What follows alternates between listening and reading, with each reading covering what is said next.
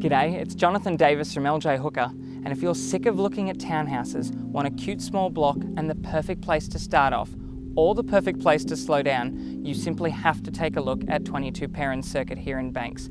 An exceptional three bedroom courtyard home with absolutely nothing to do.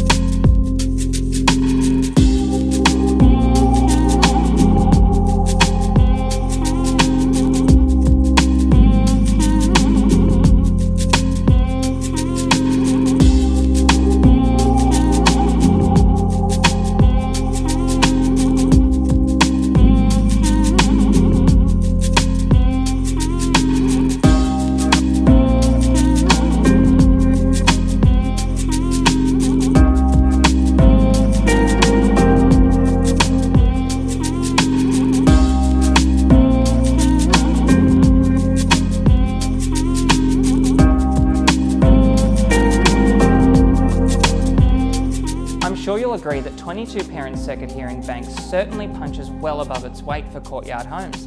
And out here is really where it separates itself from its competition. This huge covered carport easily accommodates four family cars.